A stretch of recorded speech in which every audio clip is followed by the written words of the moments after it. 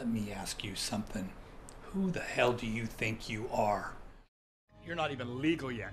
You still live under my roof. You answer me when I ask you a question. Do you understand me? I think they might have taken him across the border.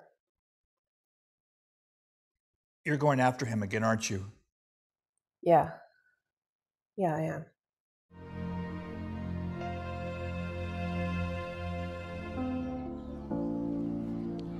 So sorry, son. I should have been there for you. I should have been there for your mom. I should have been there for our family. I'm so proud of you.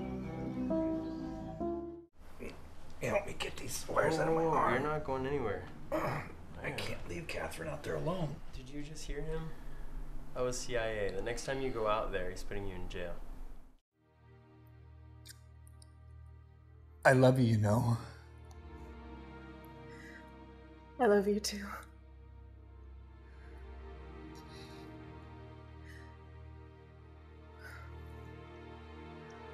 Aloha.